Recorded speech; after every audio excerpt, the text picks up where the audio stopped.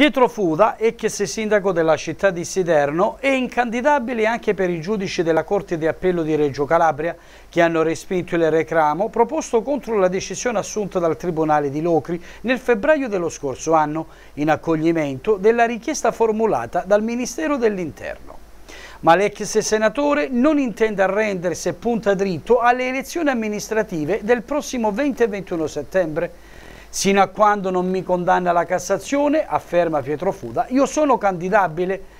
La sezione civile della Corte di secondo grado ha respinto le argomentazioni difensive, compresa una questione di illegittimità costituzionale sollevata dall'avvocato Francesco Macri, che ha eccepito l'inammissibilità della proposta deducendo al riguardo che il Ministro si è limitato a trasmettere copia degli atti amministrativi preparatori del provvedimento di scioglimento, omettendo l'indicazione dei nomi degli ex amministratori ritenuti responsabili delle condotte che hanno dato causa allo scioglimento del Consiglio Comunale di Siderno.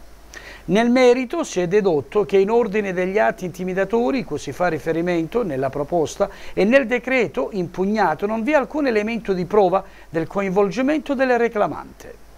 La difesa ha indicato altre vicende anche in relazione a lavori pubblici di vario genere per le quali ha evidenziato l'insussistenza di elementi a carico dell'ex amministratore.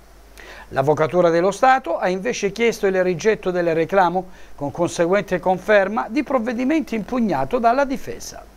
I giudici reggini hanno valutato le argomentazioni delle parti stabilendo in sintesi che il reiterato affidamento di lavori pubblici e concessioni senza la richiesta di certificazione antimafia costituisce comportamento con ogni evidenza idoneo ad agevolare il condizionamento nell'attività amministrativa da parte della criminalità organizzata in quanto in tal modo l'ente pubblico rinuncia ad acquisire elementi informativi concepiti per neutralizzare il rischio di di infiltrazioni della criminalità organizzata in settori di particolare rilievo dell'attività della pubblica amministrazione, come quelli dei contratti pubblici e delle concessioni di beni pubblici.